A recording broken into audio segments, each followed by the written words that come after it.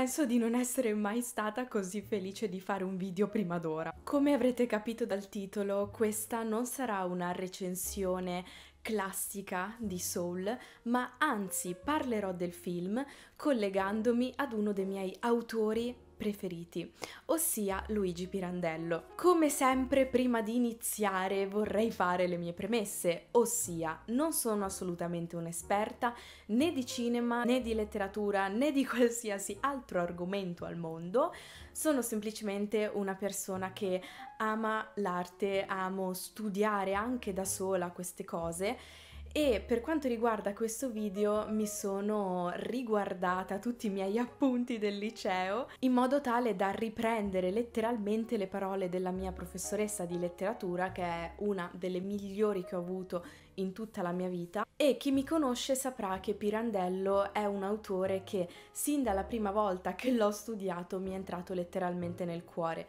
non solo per la bravura infinita della mia professoressa, ma anche perché è un autore che da quando ho studiato mi ci sono subito rivista ed è per questo che guardando Soul ci sono stati dei dettagli che mi hanno fatto ricordare un testo in particolare di Pirandello. Questo testo si chiama Il treno affischiato e fa parte delle sue novelle per un anno. E prima di iniziare a parlare del film, ovviamente vi devo parlare di questo testo. Non so se sapete che cos'è l'epifania. Nella letteratura questo termine è stato utilizzato più volte oltre che a Pirandello, si ritrova anche in Joyce, però ho voluto concentrarmi su Pirandello perché è un autore che conosco decisamente molto di più. E cosa c'entra tutto questo con Soul? Ovviamente adesso lo scopriremo. Il treno affischiato a me è piaciuto sin dalla prima volta che l'ho letto. Infatti sono stata molto contenta di poterlo rileggere per fare questo video. È una storia molto particolare, anche per come viene narrata. È una storia fondamentalmente di alienazione mentale. Si parla di questo Belluca, che è il protagonista, che viene descritto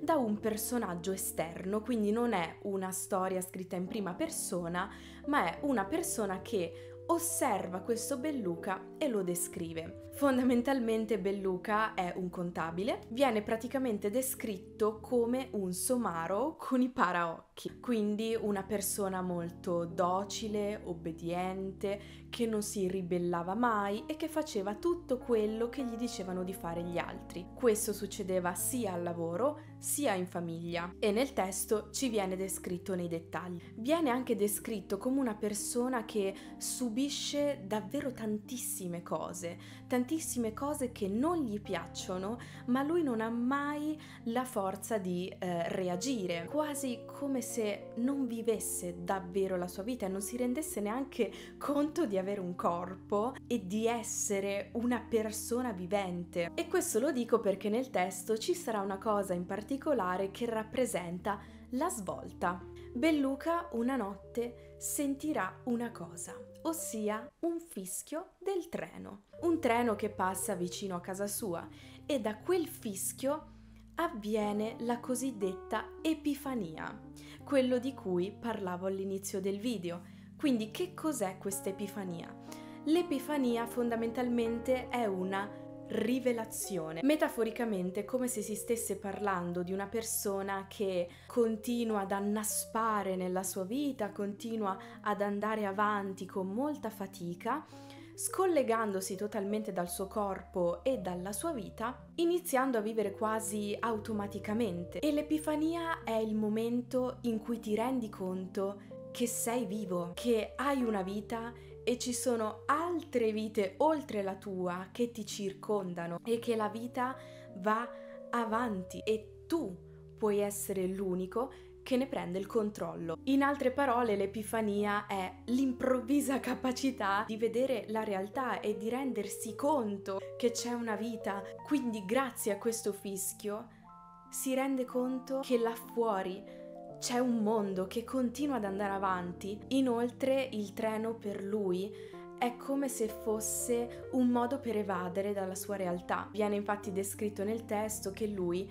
spesso si immaginava lontano dalla sua famiglia, lontano dal suo lavoro, un po' come quando ci facciamo i viaggi mentali, esattamente così. Belluca grazie a quel treno è come se la sua vita si fosse rivoluzionata, è stata la cosiddetta epifania e il giorno successivo decide di arrivare tardi al lavoro, di non lavorare e non impegnarsi, cosa che da Belluca non se lo aspettava nessuno, tanto che nella storia iniziano a prenderlo come un vero e proprio matto.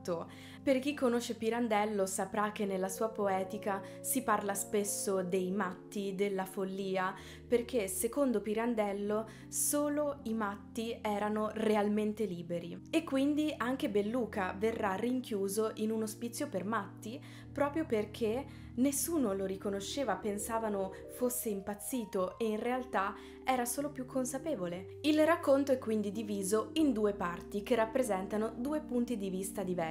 Da una parte abbiamo il punto di vista superficiale, ossia quello delle persone comuni che non si fanno domande, prendono per pazzo il protagonista e se ne lavano le mani. E dall'altra parte il narratore che scopriremo essere il vicino di casa di Belluca, colui che conosceva la situazione del protagonista. E questa epifania che vive Belluca io l'ho ritrovata veramente tantissime volte in Soul. E il primo cenno di epifania pirandelliana ce l'avremo nel momento in cui Joe Gardner diventa il mentore di 22 e letteralmente riesce a vedere la sua vita come se fosse una mostra.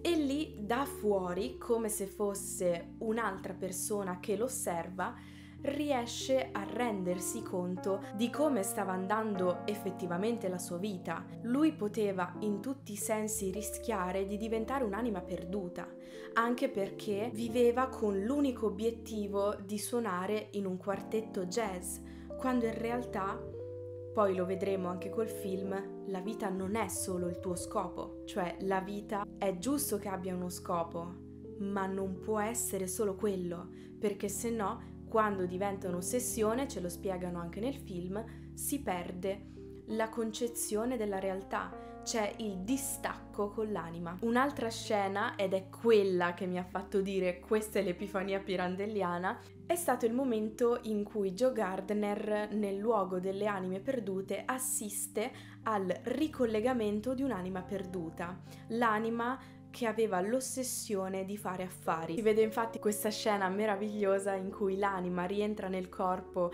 dell'impiegato. Lui ha proprio questo momento in cui si alza, si guarda intorno e dice che cosa sto facendo della mia vita e inizia a spaccare tutto. Quella è l'epifania pirandelliana.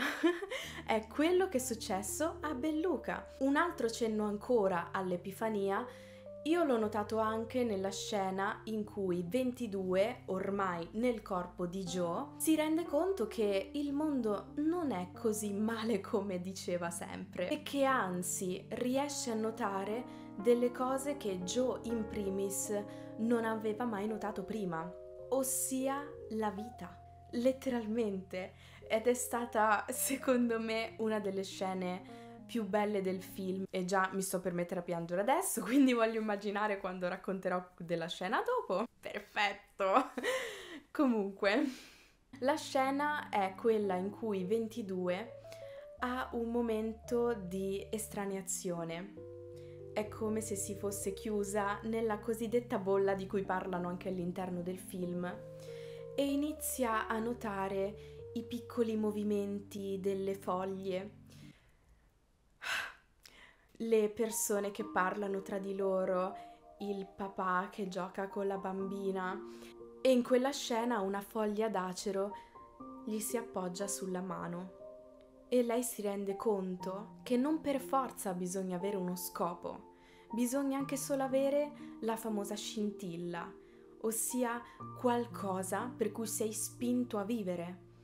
E quella cosa potrebbe benissimo essere la vita stessa, Infatti c'è questa parte meravigliosa in cui 22 dice testualmente, forse io non ho uno scopo, forse il mio scopo è camminare, Forse il mio scopo è vedere il cielo azzurro. Quello secondo me è un primo cenno di consapevolezza da parte di 22. Da parte di Joe invece l'epifania vera e propria la avremo quando lui riesce a suonare in questo quartetto. Si rende conto che non è così pazzesco come pensava perché tutti ben sappiamo che ogni volta che abbiamo un obiettivo, questo sogno, questo obiettivo lo idealizziamo come se fosse la cosa più bella del mondo, come se fosse lì la felicità che cerchiamo. Infatti Joe, quando sta per andare a suonare nel quartetto, dice proprio da oggi la mia vita cambierà, come se fosse quello l'unico scopo e obiettivo nella vita. Infatti poi suona, ha comunque una bellissima serata, ma si rende conto che non è così entusiasmante come pensava. E poi c'è la scena, secondo me, più poetica e meravigliosa di tutto il film, ossia la scena in cui lui, dopo aver suonato, torna a casa prende dalla tasca tutte le cose che gli ha messo 22, quindi il pezzo di pizza, il pezzo di ciambella e tutte le altre cose che aveva un po' raccolto in giro durante la sua esperienza sulla Terra, le mette davanti a lui sul pianoforte e inizia a suonare e si rende conto che la cosa migliore che si può fare sulla Terra è quella di vivere e vivere anche notando quei piccoli dettagli, quelle piccole cose che possono realmente arricchirci la giornata. E lì c'è l'epifania di Joe Gardner. Infatti, quando poi torna in vita perché gli viene data una seconda possibilità, ci rendiamo proprio conto che questa consapevolezza che ha acquisito l'ha fatto realmente cambiare. E io ho trovato questo messaggio di una profondità e di una bellezza così infinita che non riuscivo a non farci un video sopra. Io personalmente ho esattamente questa visione della vita.